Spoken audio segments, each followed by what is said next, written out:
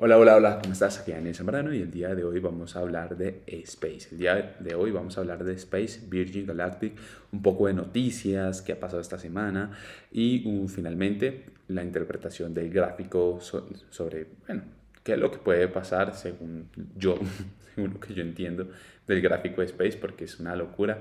Eh, y pues, bueno, ¿y qué opino de la empresa?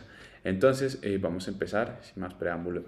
Em, y antes de empezar, gracias por todos los comentarios, las vistas, likes, de verdad, muchas gracias, han sido mucho más de los que estaba esperando en un punto.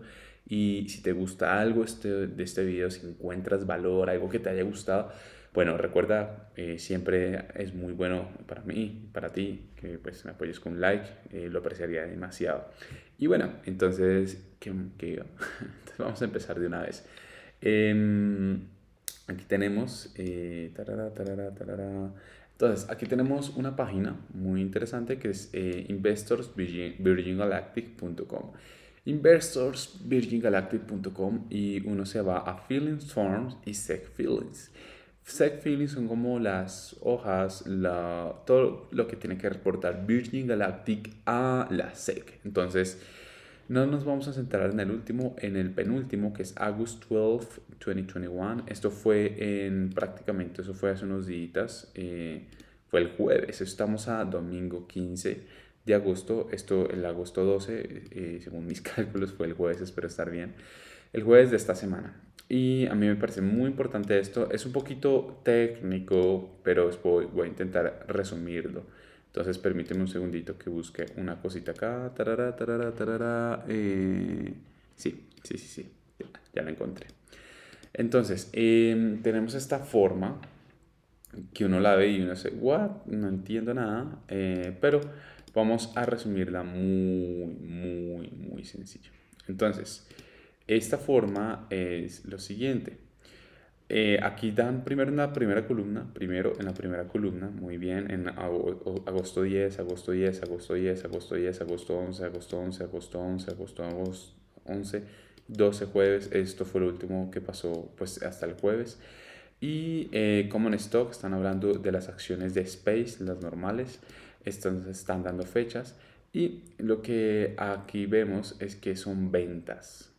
¿Me acuerdo? Esto no sé qué significa la J, pero Em, la S tampoco me acuerdo, pero esto es lo que estamos hablando de ventas. Eh, yo me acuerdo que lo investigué y si efectivamente las columnas que te vas a centrar principalmente son en el monto, cuántas acciones se vendieron en tal fecha y em, aquí el precio, el precio a que se vendió la acción. Prácticamente 31 dólares, 32 dólares, 26 dólares, 27 dólares, 28 dólares, 29 dólares. 25 dólares, 26 dólares y 27 dólares respectivamente. Entonces lo que estamos encontrando acá son ventas, eh, en ciertas cantidades de venta de la acción de Space. Entonces, eh, de resto esto no lo entiendo, no lo vamos a ver, porque prácticamente no lo entiendo muchachos, lo siento. Y entonces, ¿qué es lo que pasa? Lo que estamos viendo acá es que el 8 de agosto se vendieron nada más y nada menos que 1.597.550 acciones a 31.440 eh, dólares. Y eh, aquí lo mismo, 1.259.282 acciones se vendieron a 32,28. Y así sucesivamente. Pues se hizo el cálculo y es un aproximado de 300 millones de dólares vendidos en acciones. Cuando, la bueno, cuando una empresa saca como estos, eh, estos reportes, son lo que yo entiendo ventas internas de inversionistas. Entonces, por lo que veo, es que algunos inversionistas eh, o algunos dueños, bueno, están tomando ganancias y están vendiendo acciones de Space. Por un total, eh, pues se hizo la multiplicación de esto, la sumatoria, la multiplicación la sumatoria, excepto de esto, que no sé qué significa, que es la J. Bueno, sí se hizo, porque es una venta, lo que yo tengo entendido. Eh, me equivoco, me corriges y antes de seguir, esto no es asesoría de inversión, ni mucho menos, me puedo equivocar, solamente soy alguien ahí em, que estudió finanzas y que hace videos de YouTube y que tiene un mentor ahí que le ayuda muchísimo sobre, y que le he enseñado muchas cosas de inversión. Y antes de seguir, si quieres asistir a nuestras clases mensuales con mi mentor Greco García para comenzar a invertir en bolsa y comprar tu primera acción, te recomiendo pues que cheques en el enlace de la descripción de este video, le hagas clic en el, en, el enlace y bueno, ahí te unirás a nuestro grupal de Telegram y ahí haremos una clase, intentaremos hacer una clase mensual sobre cómo comenzar, comenzar, comenzar a invertir en bolsa en tres pasos. Si quieres asistir, clic en la descripción de este video y en el enlace para asistir a esa clase gratuita con mi mentor Greco García. Ahora, eh, en, retomando, eh, tenemos esto y son un resumen a la SEC que envió Space a la SEC sobre eh, una venta interna y esto fue prácticamente el jueves. Entonces estamos hablando que esto fue el martes, esto fue el miércoles y esto fue el jueves. Son ventas respectivas que si uno hace la multiplicación y la sumatoria prácticamente le da un total de aproximado de 300 millones de dólares. Esto no es la primera vez que ha pasado acá, ha pasado varias veces, pero bueno, em, es una de las razones, pues yo estaba viendo la acción de Space y estaba considerándola pues comprar eh, cuando superara esta línea, esta, este, este techo, por ejemplo, que está en azulito, en los 35,74 dólares aproximadamente. Estaba esperando que rompiera ese techo. Ay, no, no, no. Porque, espérate si tú lo puedes ver acá. Ajá, ajá, dame un segundito. Ya lo vi, ya lo vi, ¿dónde estamos? Porque este Creo que hay un, aquí toco el techo de los 35,17 dólares, cae, aquí rompe ese techo y se dispara, aquí pues cae debajo de ese techo y después rebota para luego tocar ese nuevo, nuevamente ese techo de los 35,17 dólares aproximadamente para luego caer, después aquí se mantiene encima del techo consolidando y después se dispara. Entonces, y aquí vuelve y aquí está pues viendo a ver si era buen momento de comprar y si rompe el techo, pues muy bien, la compramos, aunque es un poquito peligroso porque algunas veces la rompe un poquito y después se devuelve y uno no quiere comprar en la parte de arriba de un techo cuando la acción respeta ese techo porque pues si cae la acción estaría comprando un precio muy alto y bueno, aquí pues efectivamente comenzó a caer. Entonces esto pues fue el 10 de agosto, esto fue, eh, aquí vamos a acercarnos un poquito. En esta caída de este techo de los 35,44 aproximadamente, en fin, en el techo de los 35 aproximadamente. Esto fue el 10 de agosto que comenzó a caer, esto fue el 11 de agosto que siguió cayendo y esto fue el 12 de agosto. Entonces ya vimos que en, en esto, pues se reportó, este, esto se reportó el 12 de agosto, aquí lo tenemos, 12 de agosto, de pronto no lo alcanzas a saber muy bien, pero aquí ya vimos que se, después de estas caídas tan fuertes, uno ve, pero bueno, iba bien, iba a respetar el techo, no lo respetó, y en este caso iba a romper el techo, no lo rompió, cayó.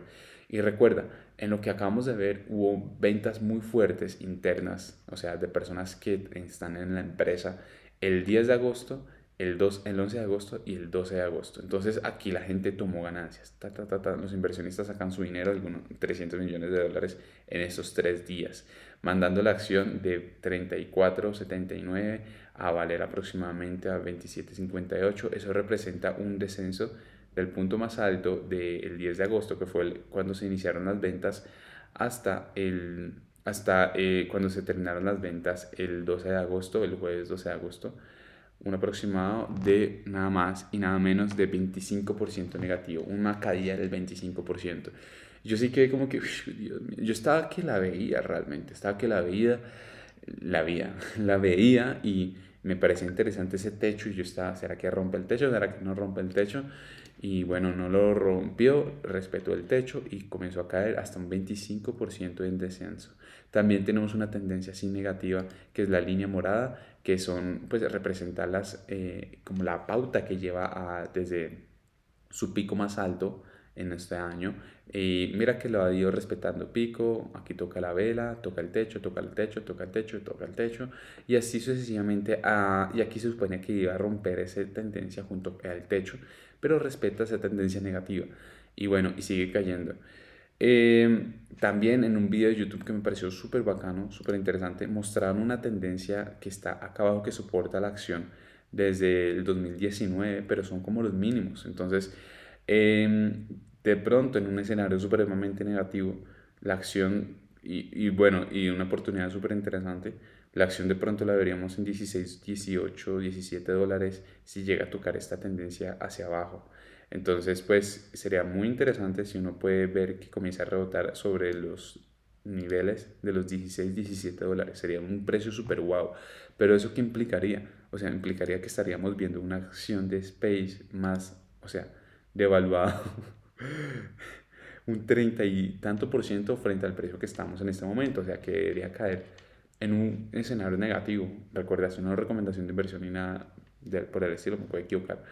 En un 30%, eso sería una entrada súper wow. Eh, eh, entonces espero que veas esa tendencia que la tenemos acá, que es esta línea gris, que prácticamente ha tocado la acción ocasionalmente ya dos veces en el mismo patrón. Y pues si sigue ese ritmo, de pronto la deberíamos tocar acá abajo, pero eh, no sé, es, sería un escenario un poquito feo, negativo. Em, y ese es el análisis técnico. Para mí tiene que romper primero ahora en este punto esta tendencia negativa que es esta línea morada y para considerar. Pero realmente el punto de quiebre, yo pensaría, esta línea morada es muy importante. Ya después es este techo de los 35 dólares.